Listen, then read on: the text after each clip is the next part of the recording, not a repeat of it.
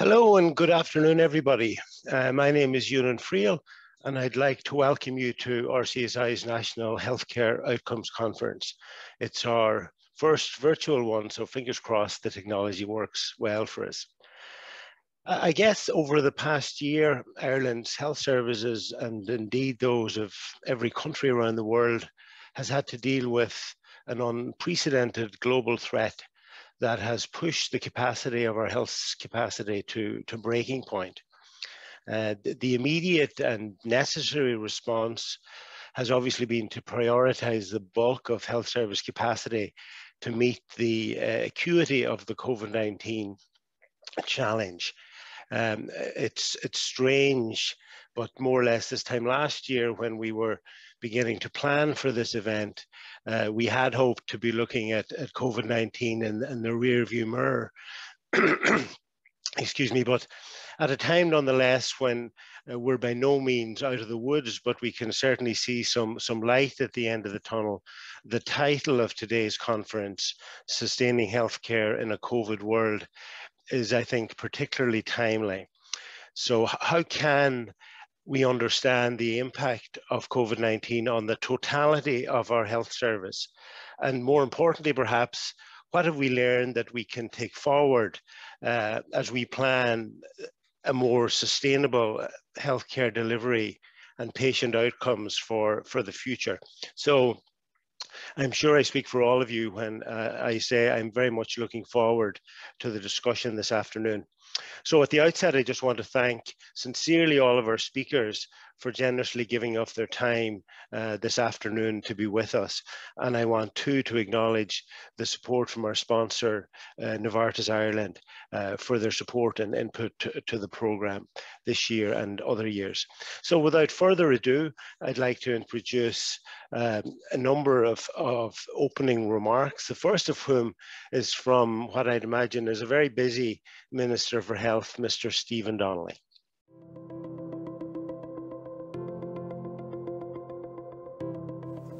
I'm really pleased to be able to join you all this afternoon to open this conference. I'd like to thank the RCSI for their kind invitation, which allows me to update you on our plans to safely resume our healthcare services. There has been, and of course always will be, an intense focus on healthcare. This is not surprising.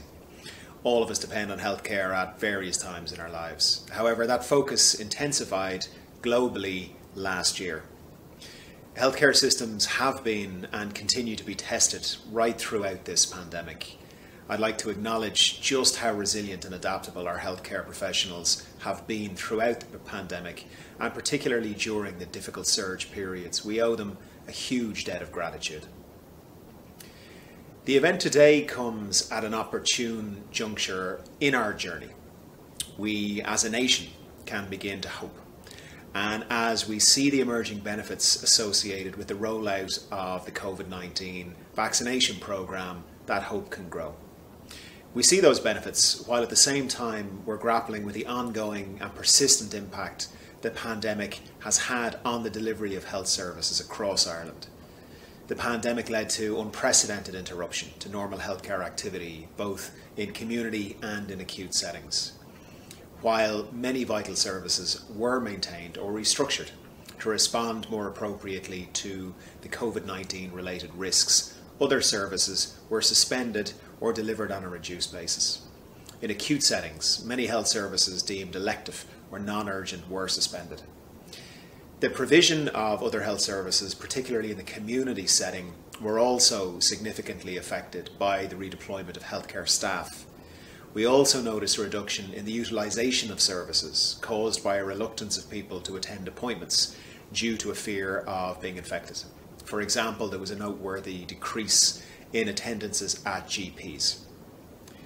The result of all this manifests as an increase in the number of patients on waiting lists, both since the pandemic, be, since the beginning of the third wave, and since the outset of the pandemic generally. I recognise the impact of increased waiting times and the possible health implications for people who may present later with health conditions. I think it's important to state, however, that many vital and critical services continued through all stages of the pandemic. For example, from the outset of the, the pandemic, the government has placed an emphasis on the continuation of cancer services. Urgent and time sensitive treatments are being prioritised based, of course, on clinical considerations. Significant steps have been taken within the HSE to restore services and to operate COVID care and non COVID care side by side in a safe way, a difficult undertaking. To assist with this, I was very pleased to be in a position to increase the annual budget for the HSE to 20.6 billion euro this year. This is 3.5 billion more than last year's allocation. This funding will enhance our services, including community services, services to older people, disability services, and mental health services. In our acute services, this funding looks to provide 1,146 additional acute beds, 135 additional subacute beds, 66 additional critical care beds to bring the total number of adult critical care beds to 321 by the end of this year, and 1,250 community beds. It will also enhance the delivery of scheduled care services, mitigating as far as possible the impact of COVID 19 through the provision of 98,000 additional outpatient assessments and 36,500 additional inpatient or uh, day case procedures. The allocation will also provide for the expansion of our workforce by 16,000 compared to the employment levels in December of 2019. This includes additional medical staff, nurses and midwives, and other health and social care professionals. There is no question that there are significant challenges ahead of us in dealing with the impacts of COVID 19. However, there are great opportunities too. COVID 19 has demonstrated just how agile and flexible our healthcare services can be in difficult times. Practitioners and staff from across the various health sectors, both public and private, worked collaboratively with the common aim of protecting the public. Several impressive innovations have taken place during this time. Many of those innovations serve to progress the reform of our healthcare service as set out in the Sláintecare vision. The challenge for us now is to build positively on the collaborations and the innovations to tackle the impact of COVID 19 while at the same time reforming our health service for everyone in the country. Finally, I'd like to note the distinguished lineup of speakers for today's event, and I have no doubt it will be both interesting and enlightening. I note that Dr. Niek Klazinga from the OECD will also be pre presenting. We've been very fortunate in having Niek and his team from the University of Amsterdam working with us on the development of a health system performance assessment framework. We're in the process of moving from development to implementation, and I have no doubt this framework will be a very effective tool to measure health outcomes in Ireland. Thank you.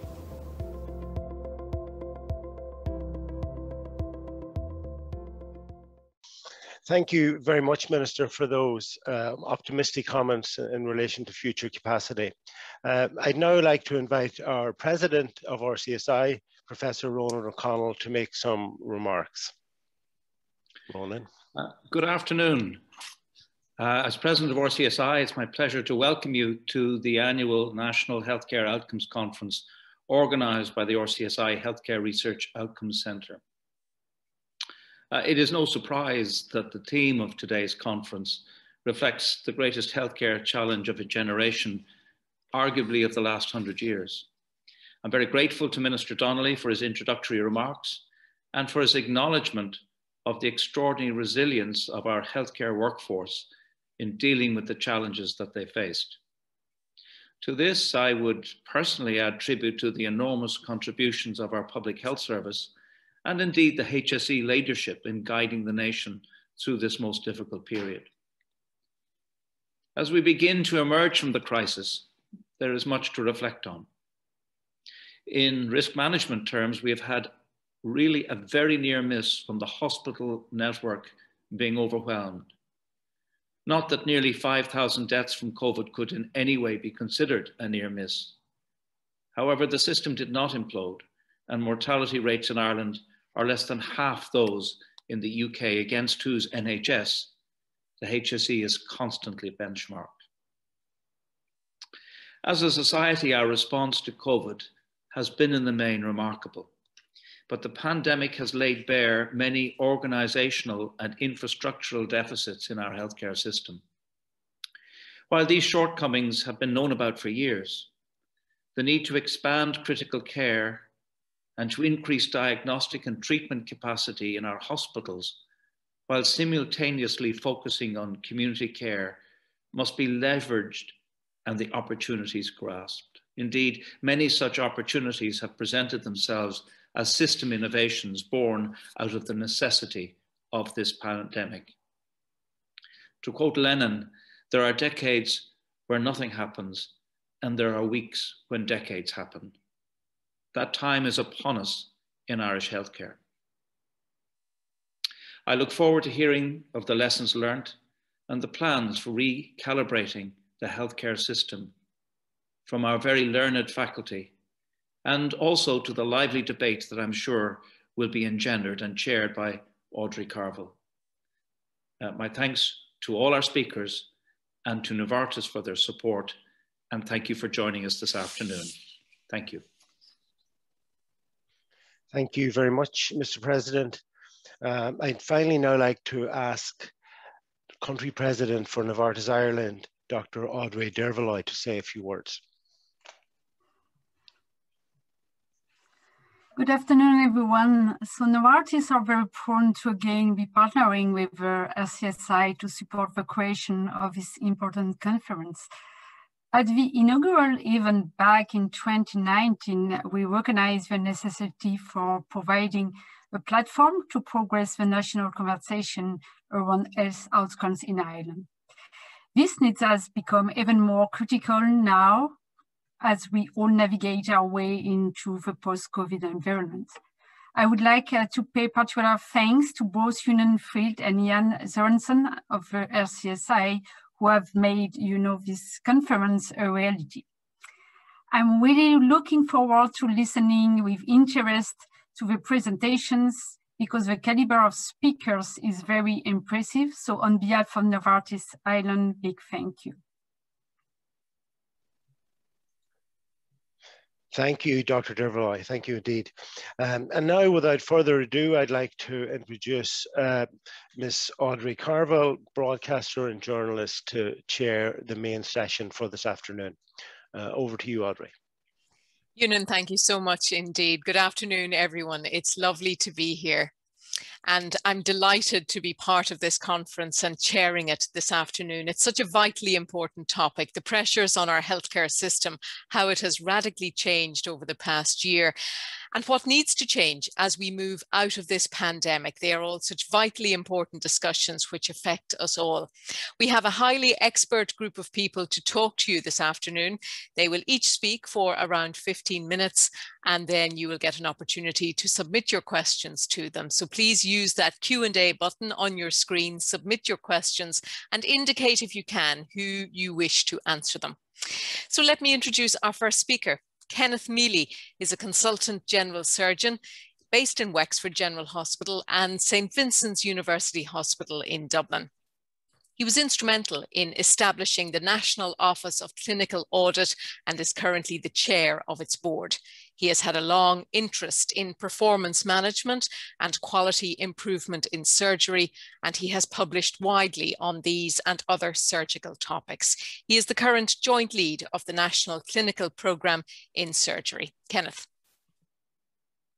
Audrey, thank you very much. Um, and while I just share my slides. Hopefully you can see those. Um,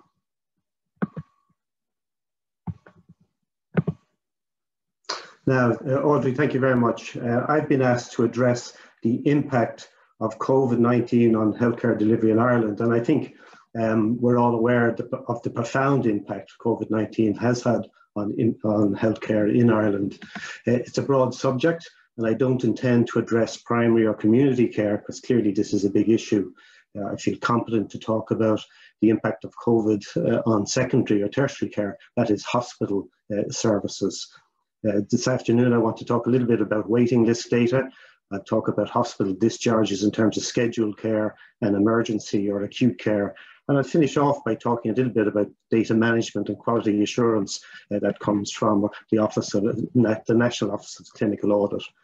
The data I'll refer to is our HIPE data uh, as uh, we access through the NQAIS uh, uh, portal. NQAIS is the National Quality Assurance and Improvement System portal, which allows us interrogate HIPE data, uh, and it also allows us use HIPE data for the NOCA audits. Uh, so first of all, I want to talk a little bit about our waiting lists. Uh, as expected this year, uh, outpatient waiting lists have increased by a relatively modest percent, 12% over the last uh, year during this COVID period. Of, what is of more importance, however, has been the long-term waiters, that these have increased by a greater amount. And we think this is because that fewer people have been actually put on waiting lists because of lack of access to GPs uh, who, who, who refer patients. And the, the, same scenario arises when we look at inpatient and day case waiters. Uh, there has been an increase over the year, year on year, but a far greater increase has occurred in relation to long-term waiters. These are patients who've been on the waiting list for quite some time. I have an interest in surgery and you can see that surgical patients make up over 50% of the outpatient waiters and anything between 50 and 80% of those waiting for procedures in hospitals. And, and this, of course, causes huge issues in relation to those Sláintecare aspirations of seeing and treating patients within 10 and 12 weeks, respectively.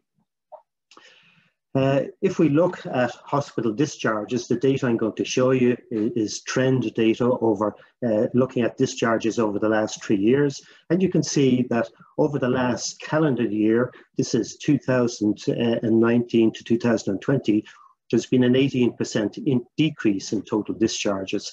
Uh, the different colour codes refer to how patients are admitted or discharged, whether they're be, they are emergency day, day cases, emergency stay patients, uh, elective day patients or elective stay patients. And you can see that there's been a significant decrease over the last year.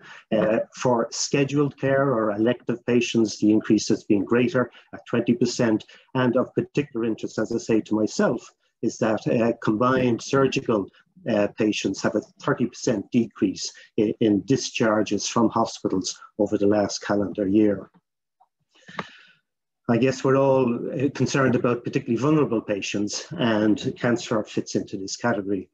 Cancer patients have had a decrease also, a total decrease in approximately 15% of discharges uh, over the calendar years 2019 to 2020. Many of these patients are day cases for relatively minor diagnostic procedures, and you cannot see it in this chart, but even stay patients, there has been some decreases. And if we look at some of those cancers, if you look at colorectal cancer or breast cancer, as I have shown here, um, elective surgery for colorectal cancer has, has decreased by uh, over 20%, emergencies to a lesser extent, and I'll come back to emergency care later. In, in breast cancer, we do not have emergency surgery, but elective day cases, which make up a lot of our diagnostic uh, uh, processes, these have decreased, uh, and to a lesser ex uh, extent, elective surgery by a sizable number, as you can see, 38%. And of course, this does have impacts for patients. And I draw your attention to this modeling study produced by Maringe and colleagues in Lancet Oncology last June, July, uh, uh, from the UK, looking at, if, at modeling patients, if you take them from uh, early diagnoses, those are patients who perhaps are diagnosed in screening rounds and screening programs. and if you look at their outcomes uh, for those patients if they were transferred to higher risk groups, such as those who present with sy symptomatic disease. There are a very, uh, there is a significant years of life loss for all of the major cancers, patients with esophageal cancer, breast cancer, colorectal cancer, uh, uh and lung cancer. So clearly to a certain cohort of cancer patients, this does have implications for them and their families. If we look at non-cancer uh, or benign conditions, I've chosen three operations which would be familiar with uh, many uh, lay people, uh, hip arthroplasty, hernia repair, and uh, surgery for gallstone disease. You can see year on year, uh, 2020, there's been approximately 30% reduction in these operations having taken place in the Irish public health system uh, last year in comparison to previous years. And I do stress this is the public system. We do not have data as to what happened in the private sector in this country. And of course, this has implications for waiting lists and the media attention and the political fallout uh, from uh, these longer waiting lists. I want to spend a little time talking about emergency surgical admissions. Uh, this slide shows uh, all the medical and surgical specialties and the colour bars within the column show the decrease in uh, discharges uh, in these specialties in 2020 in comparison to 2019. And you can see that in general, there's approximately 15% decrease in emergency discharges uh, over the last year. And the minister alluded to, to this in his address. For surgery, it's slightly greater at 16.5%. And it begs the question as to why this has happened. If you look at all of surgery, as I say, a 16% reduction. The red bar looks at stay patients. Uh, the, the, green ones are day case uh, admissions and discharges. There aren't as many of these. And if you look at a major surgical uh, specialties such as colorectal surgeon, surgery, even in this specialty, there's been a 12% reduction. And it begs the question, as I say, as to why this would happen. If we turn our attention to some of the medical subspecialties, uh, and this is for respiratory disease, I've, I've picked out respiratory codes because we know that in Ireland, we admit more patients with respiratory conditions than most other comparable OECD European countries. And you can see that uh, uh, last year we did not have this uh, winter bulge that you see in, in, previous years. Again, these are three-year uh, trend diagrams. And the colour codes just to refer to how these patients are admitted, whether they come through a medical admissions units or whether they're directly admitted to wards. And you can see that uh, 2019 to 2020, 22% reduction uh, in these patients. And that amounts to a serious number of bed days saved, and in fact would amount to about 200 beds uh, being added to the system. And just because one might say, well, this is related to the lack of influenza perhaps uh, in, in the last year, let's pick out a few respiratory codes that aren't related to influenza necessarily, COPD, or bronchiectasis or asthma. And you can see again, we do not have the winter surge last year, 30, 26% reduction in these specialties, and again, significant bed savings. And it does beg the question uh, as to what is going on here looking nationally at a 15% reduction in emergency admissions uh, nationally, we're talking about nearly 400,000 bed days saved, which is equivalent to adding another 1,000 beds to the system. And the implications for this, I think, is that admission avoidance can happen, and care in the community has to be a realistic proposition, uh, which I, I, know fits in with Sláintecare uh, projections, and hopefully perhaps we'll hear more about that later on in some of the other talks. But it does imply a certain degree of clinical discretion as to how and why patients present to EDs and how and why they are admitted. And I think we do all understand that there is variation, huge variation, which is inexplicable across the system. Uh, a lot of this is perhaps related to senior decision makers. And also we know there is an issue in relation to gaming the system, clinicians bypassing standard admission processes because of need to access diagnostics and procedures. I'd like to end up by talking a little bit about quality assurance, and this is data produced by uh, the National Office of Clinical Audit this complex looking staff, uh, graph looks at the ICU bed information system and I must um, commend the acute division of the HSE which supported the rollout of this live um, information dashboard which has uh, really helped uh, intensive care unit bed usage during the COVID period. The, the lower blue line you can see looks at COVID uh, confirmed patients in ICUs and the upper line uh, in purple indicates the number of open beds in ICUs. And clearly you can see that with the different surges, these matched, and as alluded to, uh, by the president of RCSI and the minister, we have managed to increase ICU capacity. And one of the huge benefits of this was the ability to transfer patients from hospital to hospital. And this was particularly important for some of the hospital, smaller hospitals that did not have uh, huge numbers of ICU beds. We've also been able to map many of the COVID patients through the NOCA audit process. And while we have not looked at this in great detail, I think we will find when we model this uh, uh in the future that we have compared favorably with outcomes for COVID patients in other hospitals. I want to just talk briefly about two of the NOCA audits. The first is the hip fracture patients, and we can, we can demonstrate that we have maintained high quality care and improved it in some aspects with some of these audits. There are seven quality indicators of good outcome for hip fractures. The first one being access to an orthopedic ward in four hours. And you can see this actually increased uh, during the COVID period. Two did not change. This was access to theatre for operation within the first 48 hours. And then good nursing care as demonstrated by an absence of, of pressure sores. These have all remained stable. So I think this is an area where we can uh, be confident that the health service have provided good quality care and it's um, certainly an indication uh, of uh, the great um, uh, determination of our nursing colleagues to provide good quality care. We have fallen down, however, in an aspect of multidisciplinary care, multidisciplinary meetings regarding these patients um, have become less frequent. And I think this is probably related to uh, workforce issues, challenges to that in terms of trying to maintain COVID and non-COVID uh, workforce streams on the medical side of things. As a consequence, however, of uh, hip fracture management, interestingly, has been a decrease in length of stay of 4.5 days. And while we haven't looked at that in detail, it may be something simple, such as less frail and elderly patients who are cocooning, not falling and breaking their hips. Uh, it does imply, however, good, good progress through patient flow pathways in our hospitals. And then just briefly to look at our stroke report, uh, our first stroke report last year, looking at one of the major determinants of outcome is rapid access to medical teams and imaging. And you can see that this has increased in the COVID period. So again, an indication that for various serious underlying conditions, we have maintained good quality care in our health service despite COVID. But again, in this audit also, we can see that there has been a decrease in multidisciplinary team engagement with stroke patients. And again, I think it, it, reflects on challenges to um, manpower issues or workforce issues within the health service. Two minutes so, left, Kenneth. Okay, so just to finish off, the implications of all this is scheduled care will always be compromised when hospitals are under pressure. We see this every winter, but this is more so during COVID.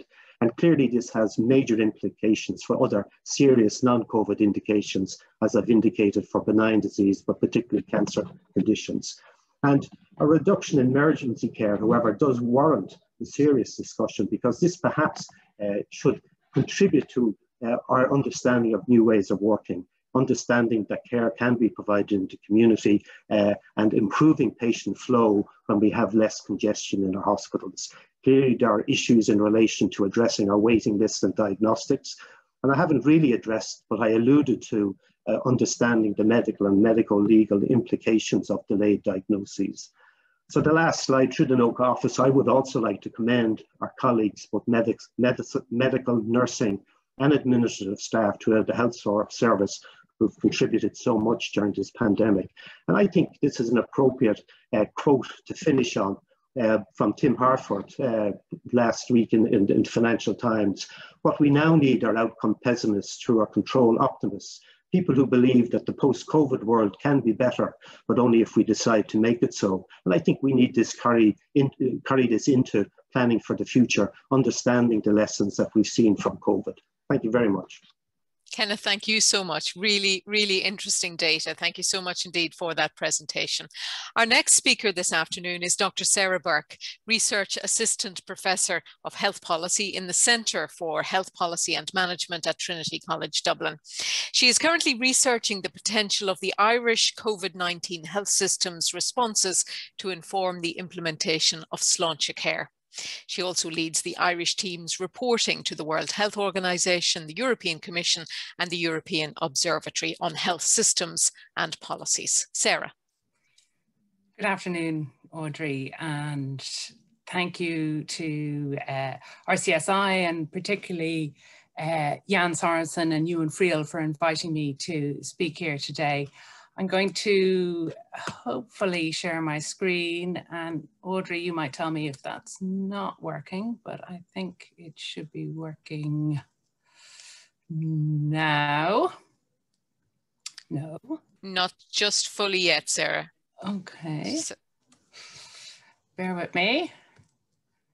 Uh, hmm. Okay, maybe I'll stop and start again. How about okay. that? Okay. Uh, it worked in our.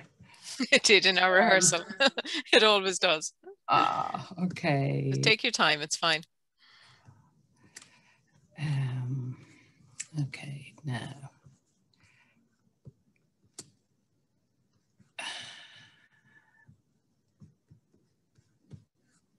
Oh. Deep breaths. Okay, try again. No, it's not happening, is it? Yeah, I can see it. We can, can see it now. now. Yeah. yeah. If you just ah, fantastic. Okay. And if you just hit the slideshow, perfect. That's it. Yeah. Okay. Apologies. Go. I will. Uh, so for the next 15 minutes, I am going to uh, hopefully get you thinking about and trigger a discussion about whether, if and how COVID 19 provides a window of opportunity for Sláintecare. Uh, and I'm going to do this in two ways. I'm going to briefly uh, tell you about the research that I'm engaged in and a component of that research which provides a high level policy analysis on the impact of COVID 19 on the implementation of Sláintecare. And just to tell you the backstory in our sort of pre-COVID world. This was a research project foundations funded by the Health Research Board under its applied partnership scheme. And Laura Magahy, as executive director of Sláintecare, is the lead knowledge user on the project. And on these research projects, the core funding is from the HRB, but uh, the partners also contribute to that funding. So both the Sláintecare Implementation Office in the Department of Health and the HSE are contributing to funding the project. And the aim of the project pre-COVID was to generate research and evidence which would inform the design and implementation of the regions. And the regional integrated care areas were a component of the implementation of Sláintecare, which is to provide subnational structures to fund and deliver integrated care. And we were up and running for about six months doing co-design, co-production, starting on some of our rapid reviews and primary areas of research. So we were about six months into the project when COVID arrived. And when COVID arrived, the work that was progressing on the regions, and this was largely being progressed by a senior team in the Department of Health and the HSE. And as my role as a researcher, I was a participant observer in these team meetings.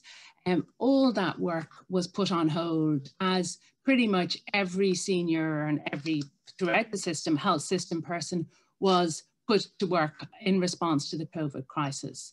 And I was in discussions with Laura Magahy as to if and how we could progress this research during COVID, but also was there something more useful we could do to contribute to the COVID response? And Professor O'Connell quoted Lenin uh, in his opening remarks, and he said how there were weeks when decades happen. And I think he's absolutely right. And I think those weeks were occurring actually exactly around this time last year, in March and April and May, when there was all these innovative and agile responses in the system, but also very interesting responses in the system that really aligned with the Sláintecare vision and aim. So the fact that all the COVID responses are universal and free at the point of delivery, that everybody, and we still do, has access to a free telephone triage call with the GP if we have COVID symptoms.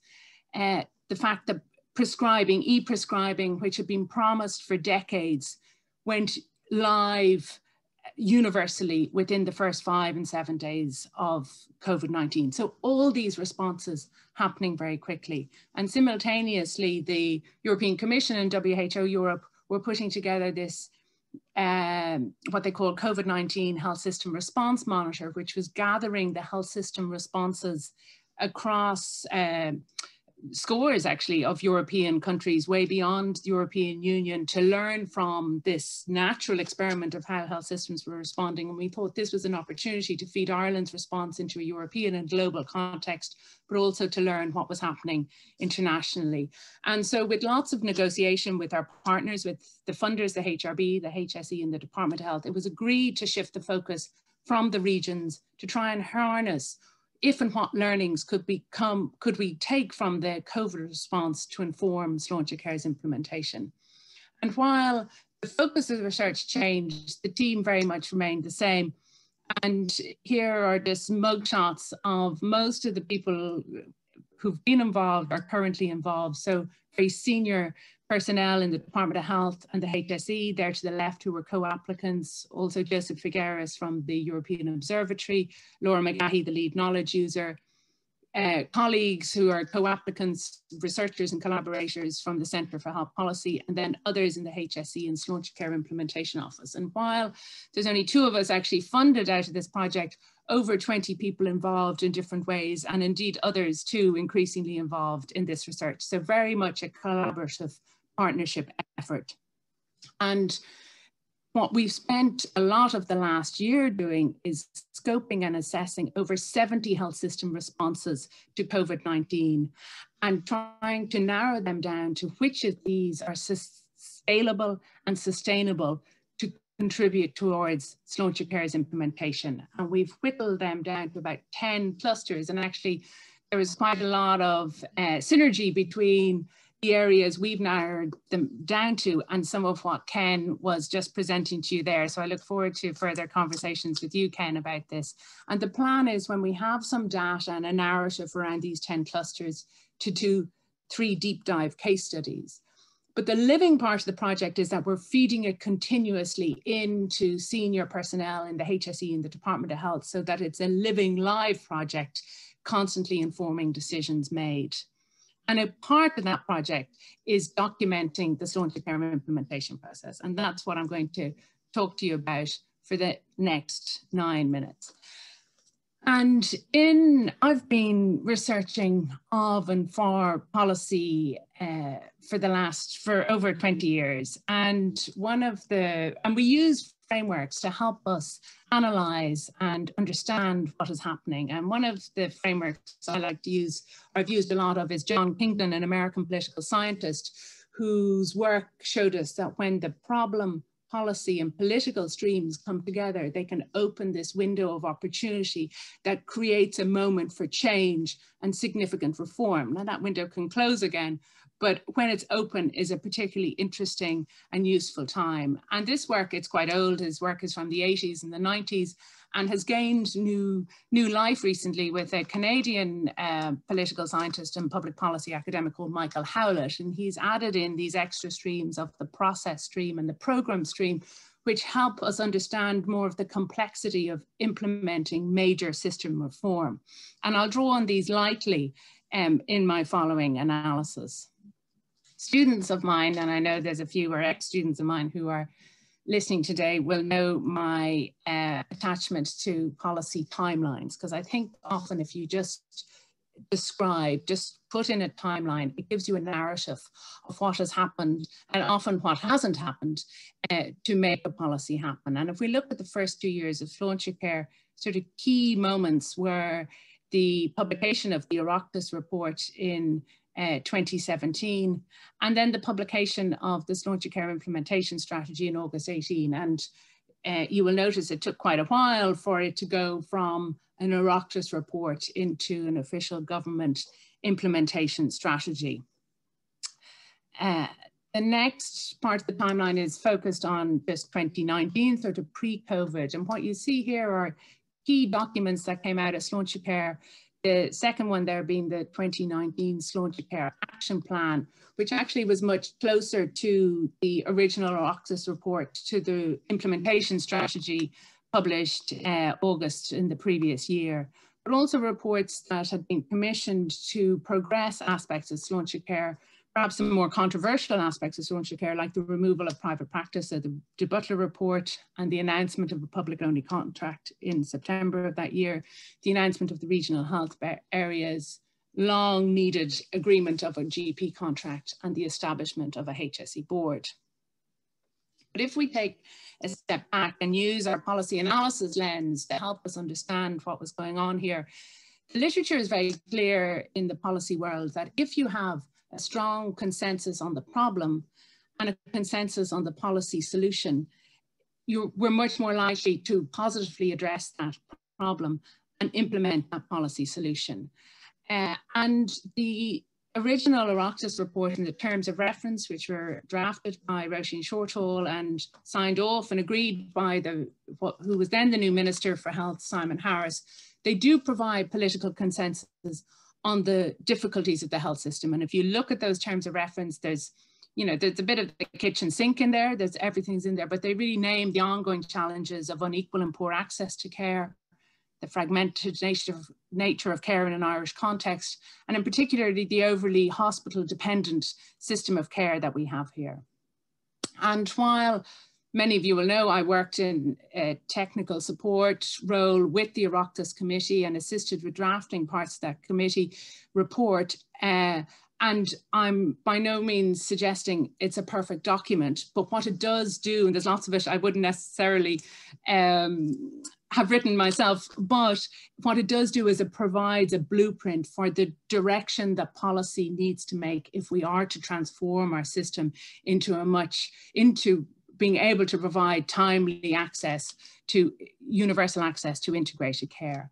And what we're seeing with the plans that have emerged since then is this um, emergent nature of the reform process. And that's in my from my perspective a positive thing so the original was a direction of of travel and what we're getting increasingly is more of the detail of how that could potentially be delivered in terms of the processes i think up to february 2020 before we had covid I think it is fair to say that the political, economic and health system processes were being put in place to deliver Sláintecare.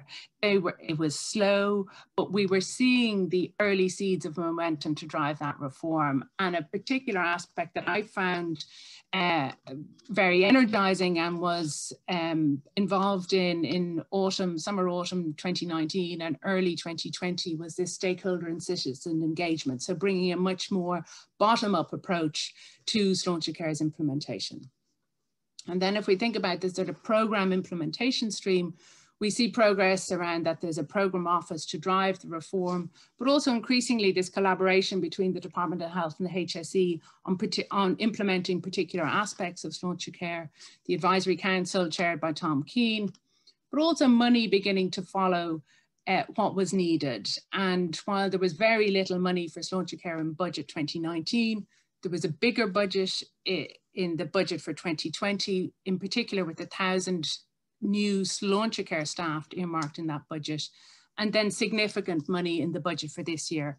And I will come back to that. And then particular progress made in specific areas that I've referred to already.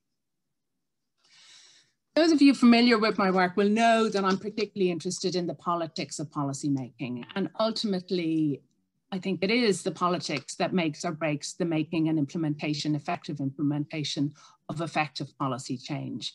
I've always been of the opinion it was going to take two governments uh, to implement or not implement Sláintecare. The first government was slow to take it up, although Simon Harris did take it on very seriously, but his government colleagues less so.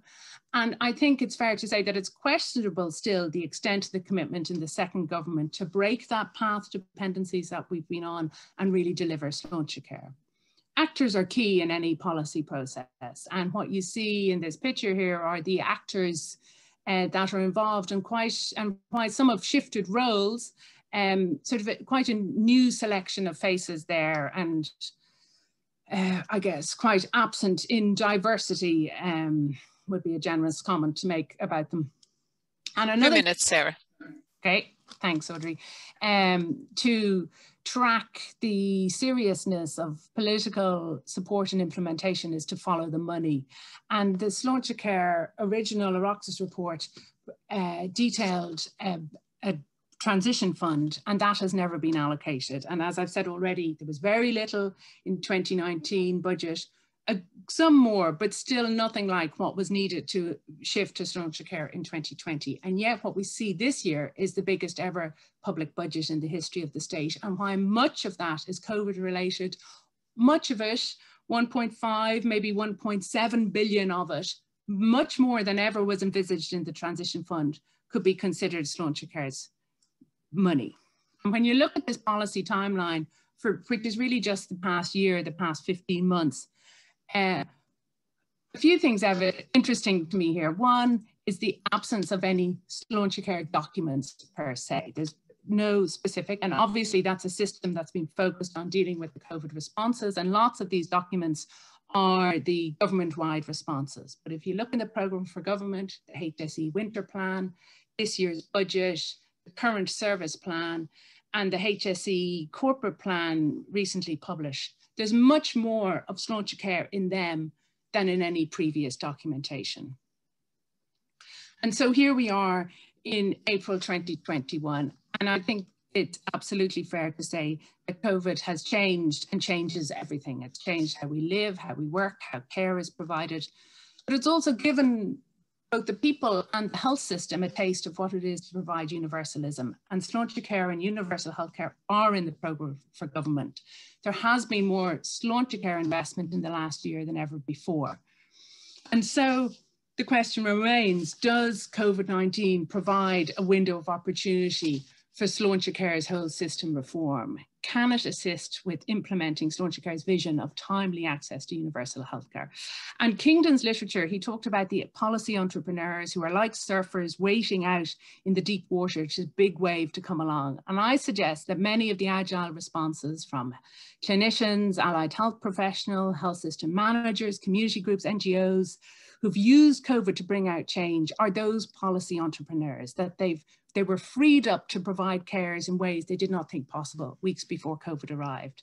And that said, will we continue to make the mistakes of the past, of our piecemeal reactive reforms, of firefighting, instead of harnessing COVID-19 as an opportunity to bring about this system-wide change that's so badly needed?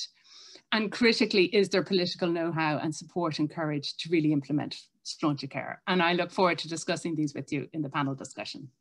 We look Thank forward you. to that as well, Sara. Thank you so much indeed for that wonderful presentation.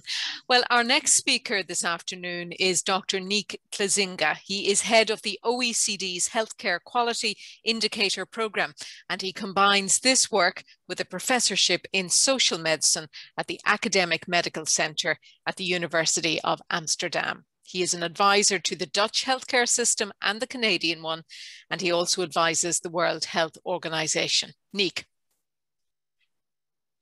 Thank you, Audrey, and good afternoon. Thanks for uh, inviting me to share with you some reflections on the, on, on, on the topic from the perspective of the Organization for Economic Cooperation and Development. And what I will try to do in the 15 minutes allotted is build the following story. Of course, if you work from an, in, for an international organization and surely one that looks at the overall impacts of changes on society and the economy. When, when being asked to look at the, at the impacts of the pandemic on the healthcare system, uh, the focus is on the system as a whole. And that means that what I will try to do is briefly share with you some impressions on how to assess the impact of the pandemic on access and quality of healthcare delivery. And ultimately, what we know about the effects that has on population health. Then I will briefly summarize some of the, the, the policy interventions that, that are in, initiated uh, since March last year to contain the pandemic and also initiatives to mitigate the collateral damage. And I, I know we haven't found the right words yet. The, the World Health Organization speaks about dual track monitoring when they mean you have to monitor the impact of the pandemic from an infection control side and alongside you have to monitor the impact on the, the on, on the health system. In the discussions in Canada um, in the past weeks, I heard people labeling it as the, the shadow pandemic and the echo pandemic, but it's obvious that you list interventions and you try to see how does that reflect on the healthcare system as a whole. And what impact does it have on the short-term outcomes? And I was happy to see the candidate presenting a lot of the in, interim outcomes you, you, you have in, in Ireland. And what does that mean for the long-term outcomes? So my presentation is from the perspective of performance management of health systems and actually optimizing the use of information to understand what is uh, happening and using that information to make your, the system more resilient. Again, that's also a policy word, uh, very popular within the European Union at the moment. Different people have a different meaning for what means resilience, but it overall means how can we make our, our systems responsive to the external uh, in, in influences that we have to deal with, and how can we keep the balance within our system of dealing with the COVID pandemic on the one hand, but also performing as good as possible with the, the healthcare delivery of the, of the rest. So let me start with, with the ultimate outcome. And I know that's not the focus of today's discussion, but I just want to put what Ireland is doing in that perspective. I don't know how many of you uh, are regularly visiting the website of Eurostat, but last year, the last week, or actually on the 7th of April, the, the data were produced on the life, life expectancy at birth uh, in 2020. And when I looked at those data, you basically see that all over Europe, there has been a steep decline in life, in life expectancy at birth. Most heavily uh, affected are countries like Spain and Bulgaria, where it calculates up to 1.6 years decline. Um, more positive is Germany with 0.2 and very positive Denmark and Norway that actually had a zero or slight, slight increase in life expectancy.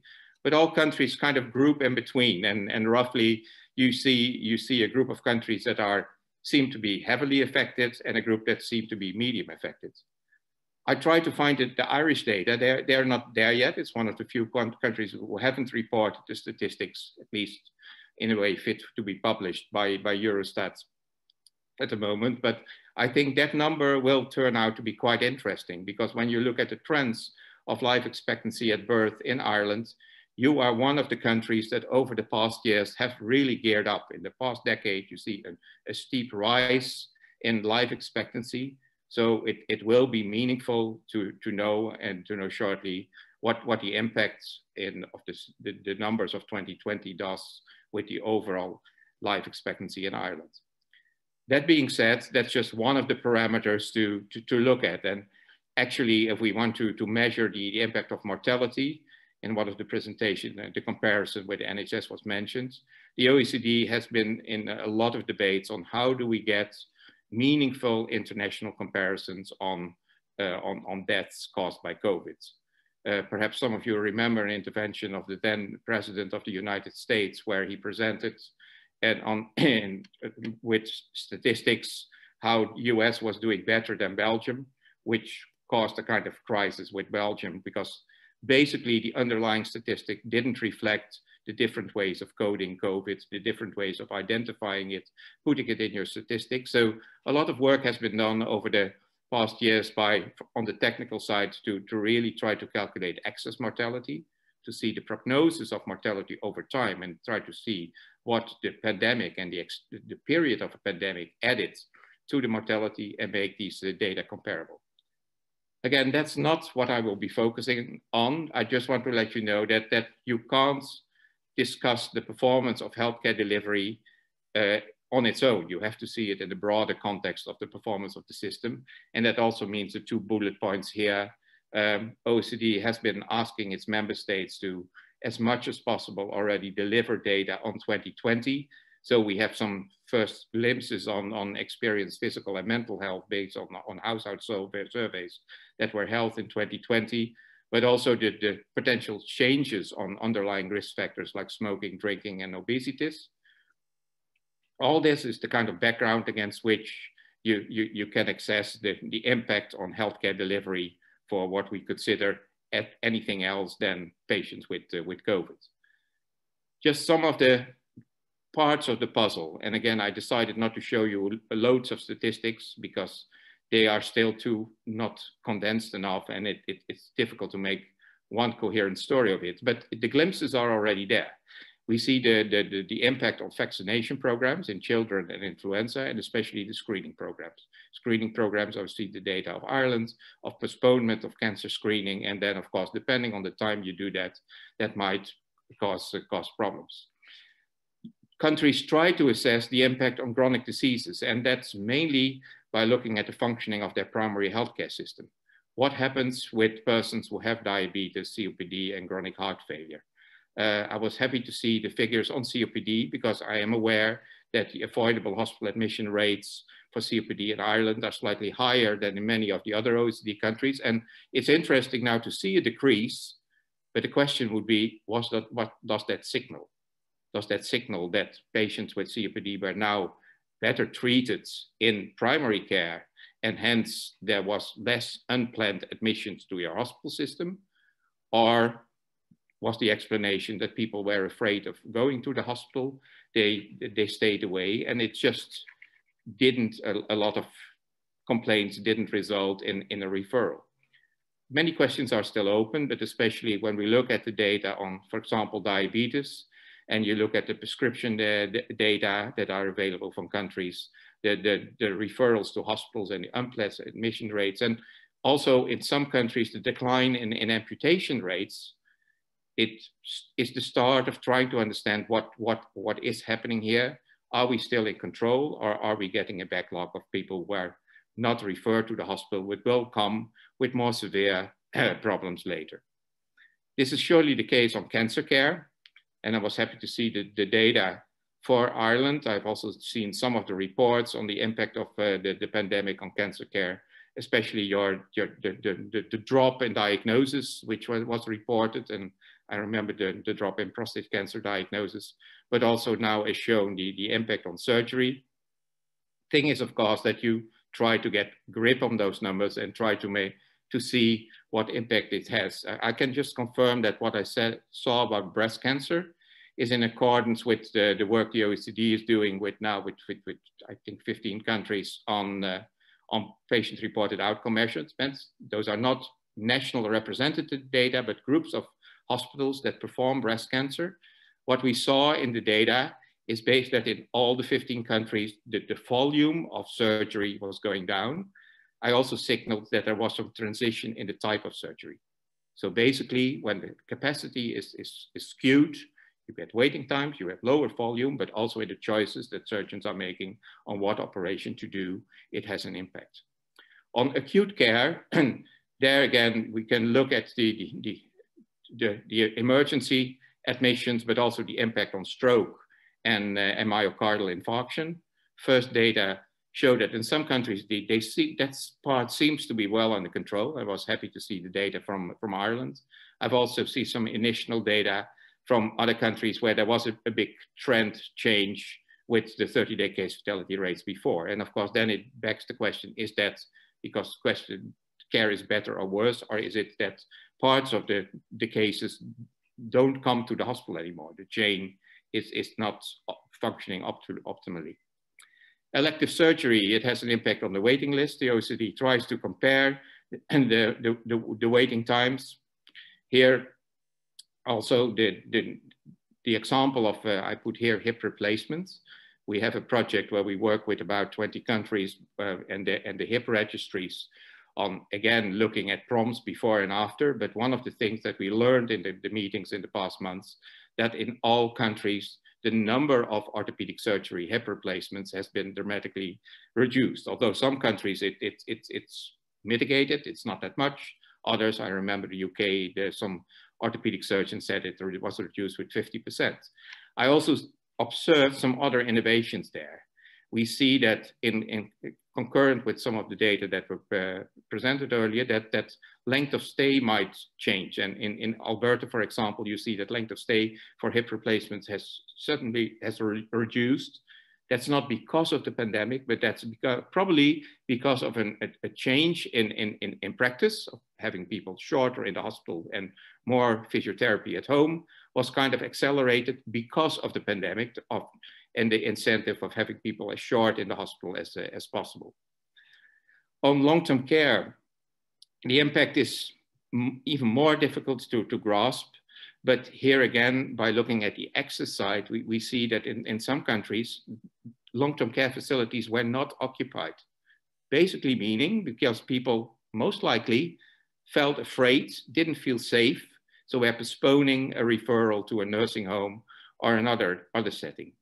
So that means apart from these effects, it, it's important to capture the, the, the effect on the population in terms of patient trust, experience safety and patient experiences. And several member states have uh, survey methodologies for bits and pieces of it to, to, to capture the impact. The other very important part is, of course, is there a differentiation in subgroups? Are there inequalities and are there certain socioeconomic groups or vulnerable groups that are more affected by the pandemic in sense of having less access or perhaps less quality of care than, uh, than others. And this, this, depends very much on the extent to which your statistical data can actually show this, uh, this impact. Impacts, well, as I said, the other part of the story is the response. I will be quick here, but if I, if I look at the reports and also the report Sara has been working on with the observatory, I see you had three waves uh, with, with three statewide wide lockdowns, so a severe impact uh, upscaling of the testing capacity is in line with the EU average.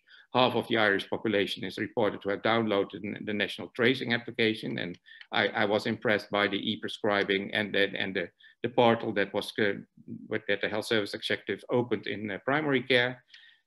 What I understand is that your ICU bed capacity nearly doubled thanks to surge agreed and the interaction of the public and the private hospitals.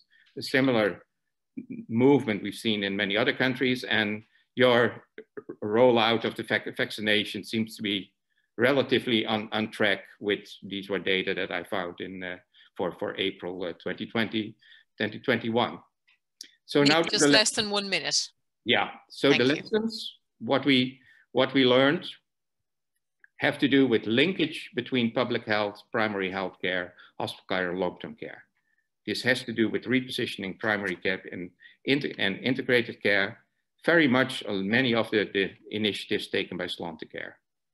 The collaboration of the public and the private sector in terms of a pandemic and creating surge capacity, the importance of a dual track approach, the acceleration of digitalization, virtual consultation, but also the availability of information. Many information have become real-time available and much quicker because we needed to steer. So to conclude, I would say that that to manage the system as a whole, strengthening of the national information infrastructure is necessary and health system performance assessment can help you here. Uh, I had the pleasure in my academic role to work with your Department of Health in the past years on a project of working towards a health system performance assessment framework. This is the framework very draft that that was agreed upon. I think if that work would have taken up and linked with all the information pieces that are available, it would help to use it as a frame for the puzzle. And then, of course, making that puzzle, I, I really hope that it will help to, to change from an ad hoc reaction to incidents to an informed, overall in, informed progress of the, the strengthening of the healthcare system and seeing how you can optimize the existing capacity in a way that maximizes outcomes. Thank you. Niek, thank you very much indeed. Much food for thought there in that presentation. Well, our final speaker in this session is someone who, along with his colleagues, has guided us through this pandemic since March 2020. A trusted medic, Dr. Ronan Glynn is the country's Deputy Chief Medical Officer and has been acting Chief Medical Officer since February of this year. He qualified as a physiotherapist, a medical doctor, and then completed a lab-based PhD in surgical oncology before transferring to a higher specialist training program in public health medicine in 2014. Ronan. Thanks very much, Audrey, and uh, good afternoon, everybody. Thanks for the opportunity to uh, to present to you all today at this this important uh, time or this important phase in our response, where I think it's important that we begin to take stock and learn lessons from uh, from the year that's been, uh, and begin to look forward at, at uh, what might be possible into the future. I thought just before I got into some key key thoughts, I suppose, on that that people would appreciate just a few minutes of a quick overview of where we are in relation to COVID uh, in the country at the moment. So I might just quickly share a screen if that's okay. So can people see that, uh, that slide set? Yes, we can. Okay. So That's just, it now. Thanks, Ronan. Yeah, we can see that. Excellent. Just very quickly, um, so we've seen a, a, marked reduction in the number of cases that we're reporting each day, and uh, our 14-day incidence as of yesterday, in fact, was down to 132 per 100,000 population, uh, which is the lowest than it's been in, in, in months. Uh, we had 206 patients in hospital this morning, and we had uh, that should read 48 in ICU this morning, which is the first time we've had less than 50 patients in critical care since New Year's Day. Um, so we've, we've, we've come through a very tough number of months, but, but things are, are looking much brighter than they have for quite some time. Um, just to say that despite that, we even last week we reported almost 3,000 new cases. And so with levels of disease like that in the community, it doesn't take much uh, for the trajectory to change and reverse quickly uh, if we were to, uh, uh, to, to, undergo an undue amount of easing over a short period of time.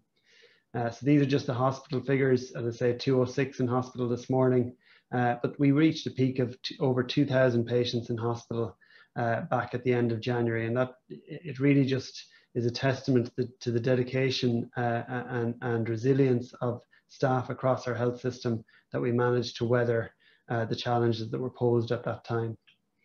Uh, similarly, we currently, as I said, have 48 in ICU, having reached a peak of 217 patients in critical care, but obviously with many, many more patients uh, receiving advanced respiratory support across, uh, across ward settings through January and February in particular. Um, on, on a good note, uh, it's been really uh, heartening to see the virtual uh, disappearance of cases of COVID-19 across our long-term residential care settings. And last week we reported no new outbreaks in nursing homes. And that was the first time that we reported no new outbreaks in nursing homes since last July. So a really, really welcome development. And that's then mirrored uh, in, in very substantial decreases in mortality uh, from, from uh, the really uh, significant levels that we were unfortunately reporting in January and February through to where we are today. And if you focus there on the grey, the grey box in each of those, again, that's that's nursing home and residential care, and you can see that that has really, uh, really tapered off over the past number of weeks in particular. Uh, the reason for those improvements has obviously been in, in large part uh, in our most vulnerable due to vaccination, but in large part it has been due to the efforts of our population. And really, we've seen an extraordinary level of compliance with public health measures and this is, this is the average number of close contacts that each confirmed case reports on a given day.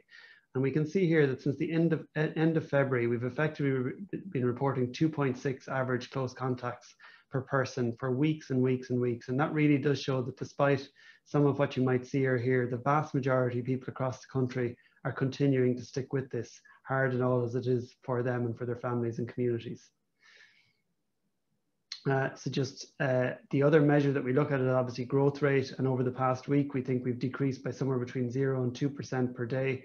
Uh, but there is uncertainty at the moment, just given that we came through the Easter period uh, and referrals uh, and other indicators would have been skewed a little bit last week. So we need to see where we are at the end of this week, really, to, to be sure that the progress that we appear to have seen over recent weeks is real progress.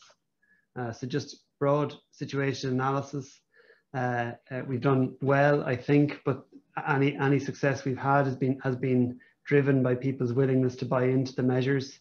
Uh, we would expect to see some increase in incidence over the coming weeks with the return of in-person education.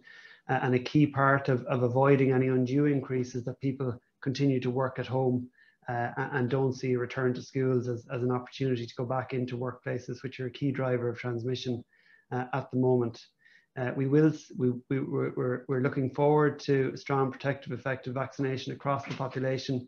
uh, but we won't see the impact of that for, for some weeks to come. And it is worth noting that through the pandemic to date, half of people hospitalised and 70% of admissions to critical care uh, have been aged less than 70 years of age. And obviously the majority of that younger cohort have not, have not even begun to receive vaccination at this point. So in broad terms, the next six weeks remains a critical window, but on the positive, if we can if we can maintain social contacts in or around where they are at the moment, if we can avoid a fourth uh, surge in cases over that time period, uh, we can look forward to a much better summer and, and could potentially avoid any further significant impact on our hospital system and ICU capacity. Um, so I'll just stop sharing that and maybe just give some uh, thoughts uh, more broadly. So I think uh, I think most people at this conference would agree the pandemic has already had a very significant impact on healthcare policy and on reform and investment over the past year. And it's shone a light on the deficiencies and challenges within our system, but has also res resulted in many significant and systemic innovations across the system. And I just want to reflect on six of those as part of this uh, discussion. So I think first and foremost, we've been reminded again of the importance of health and of the importance of a healthy population uh, at an individual level, we've taken measures throughout the year to protect our own health and that of others. Uh, whilst at a societal level, we've been reminded of the influence that health has on overall economic and social progress. Uh, and again, contrary to much of the commentary that would seek to divide us over the past year, uh, the reality is that public health uh, and the public's health and wider societal and economic well-being are completely intertwined. Uh, we've also witnessed firsthand the role that communities themselves play in supporting community health and well-being, uh, particularly for vulnerable populations.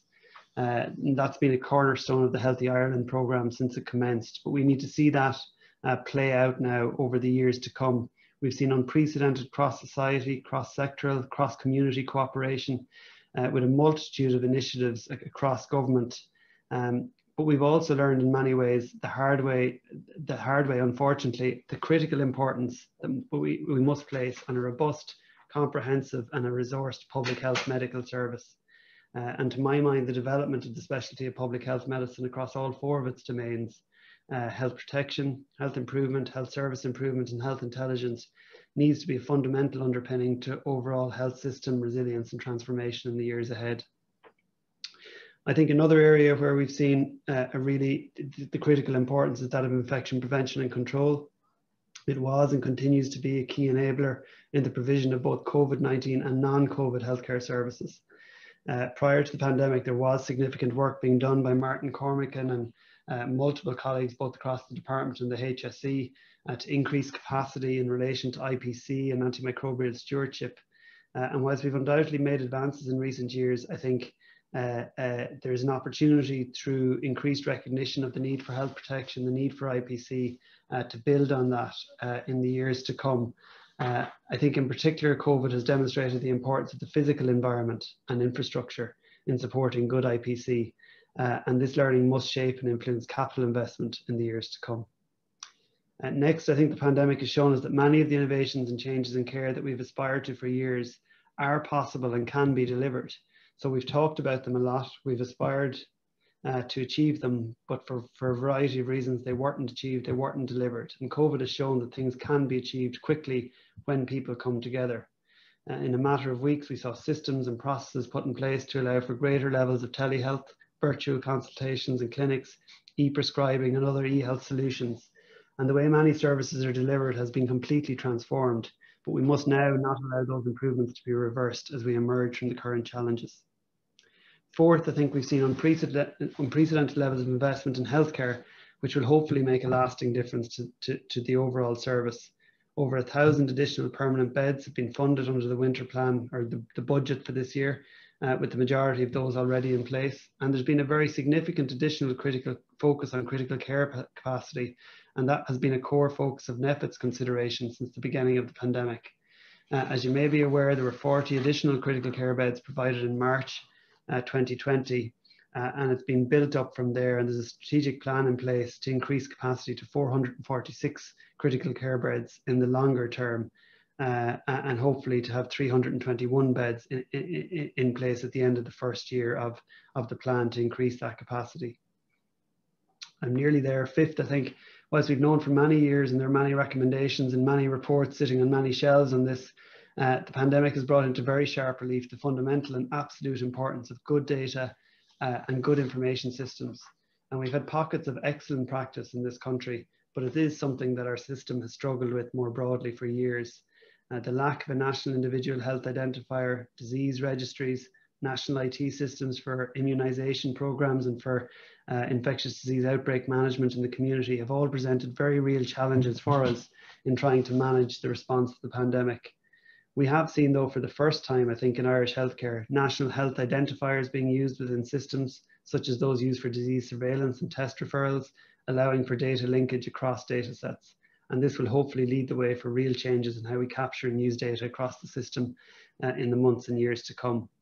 And just to finalize, I suppose, and I think it's the most important point, uh, we now know what's, what's, what's possible when all of us come together across health and social care system uh, to work collectively and collaboratively, collaboratively to tackle shared problems. We've witnessed extraordinary levels of interdisciplinary, intersectoral, intersectoral and interagency cooperation over the last year. And it is my sincere hope that this will leave a lasting legacy and will provide the foundation and the motivation for the system to continue to build on the many advances and innovations of the past year so that we can address the longer term reforms of our health and social care services that are so urgently required. Thanks, Audrey.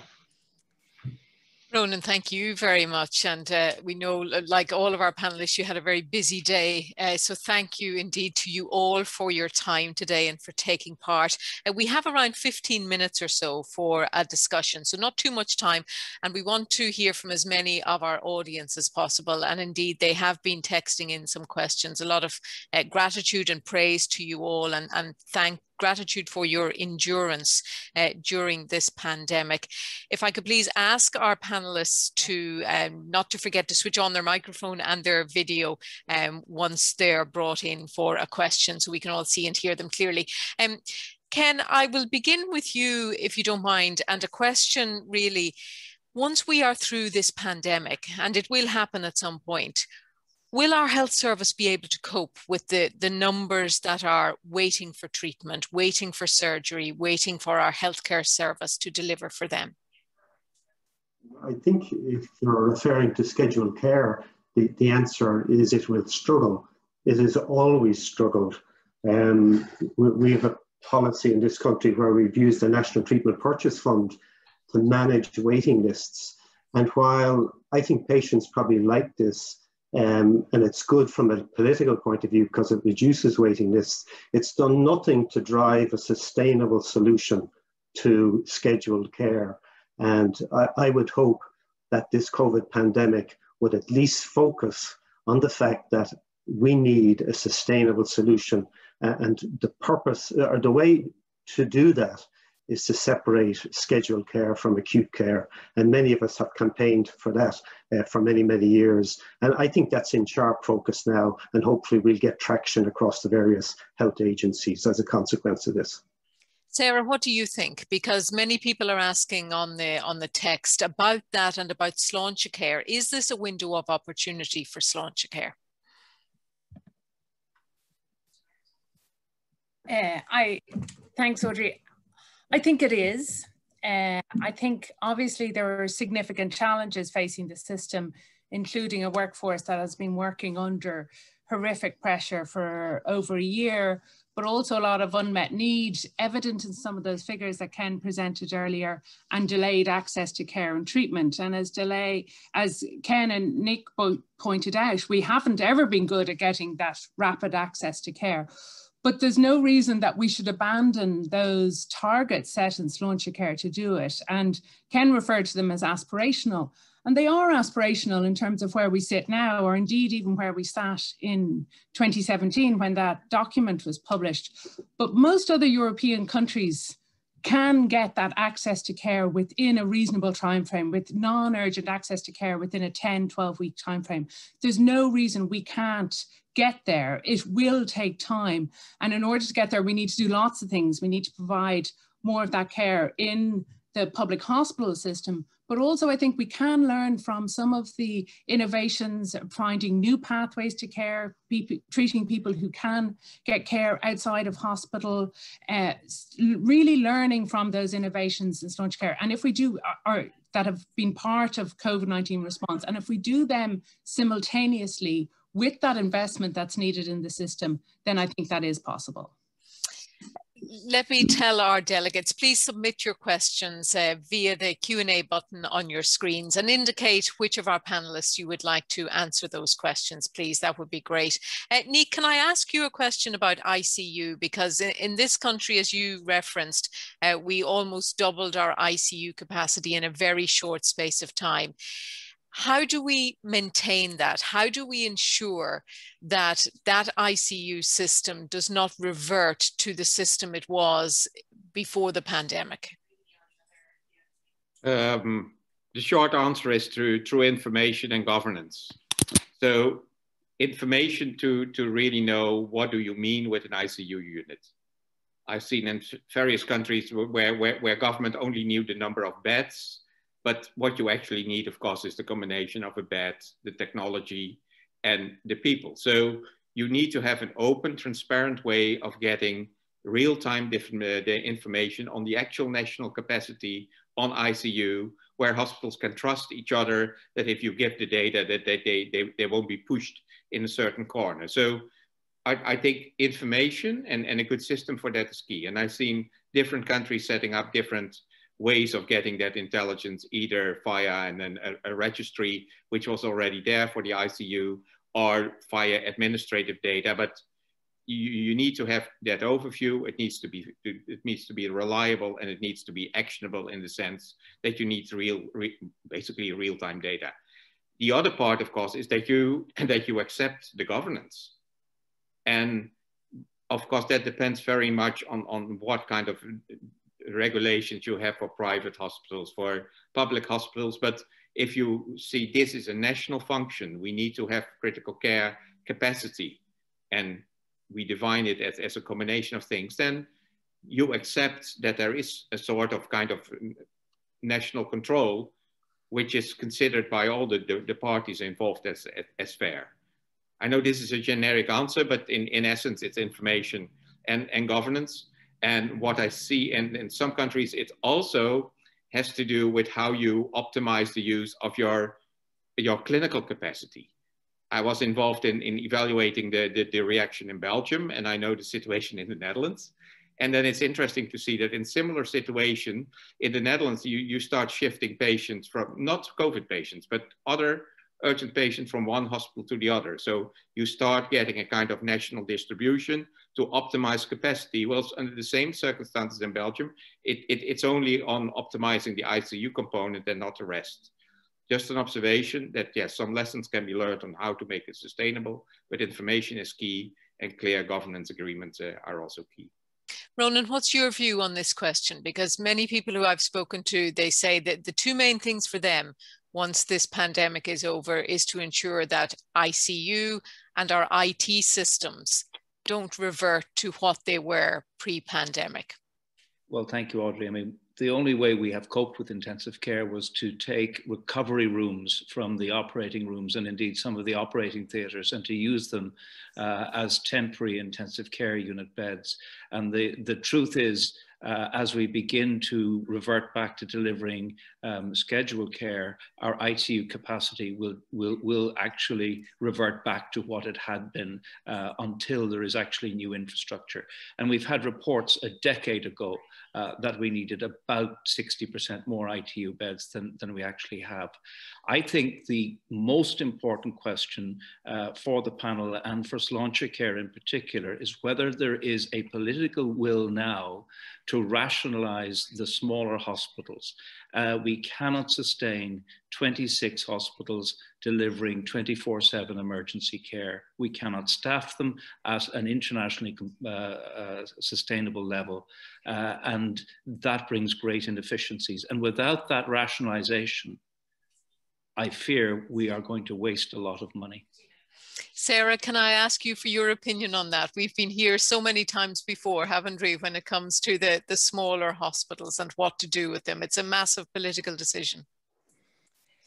It is, uh, and I think it's it's one of many components that needs to happen for Sláintecare to be delivered. And I think there is a danger that we continue and overly focus on the mistakes of the past, on focusing on the hospital system rather than building up the health system as a whole, doing the things that Ronan pointed out of much better public health, much better care in primary and community care settings. And those local or smaller hospitals have a role in that, but it may not be um, an acute hospital 24 7 role, although there is mixed evidence uh, around that.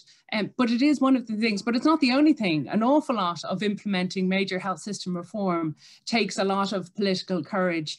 And obviously, the current government, who've only been in place since COVID has been here the, the entire time. So they've been purely focused on, on the COVID response, which obviously is necessary and important, but there is um, a potential pitfall of always focusing on the urgent rather than the longer term important policy aims. And I think we really need to see the leadership in the health system and the politicians looking at that longer term aim and responding to questions like Ronan has raised uh, and not just doing the immediate firefighting on hand. Uh, Ronan Glynn, a question in for you from the Irish Times in relation to the vaccine um, programme. And obviously that's uh, very topical at the moment and it's it's so key to our uh, strategy for getting out of this pandemic. And Simon Carswell says Johnson & Johnson uh, has said a short time ago that it is to delay the rollout of its vaccine in Europe as it reviews blood clotting cases in the US.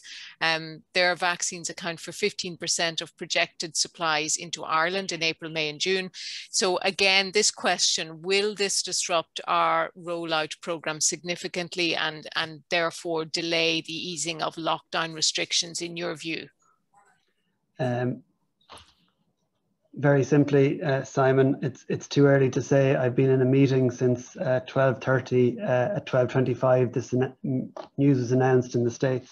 I know the EMA is monitoring the situation, and as soon as I finish here, I'll be going to discuss with the HPRA. So I can't say more than that at this point, I'm afraid.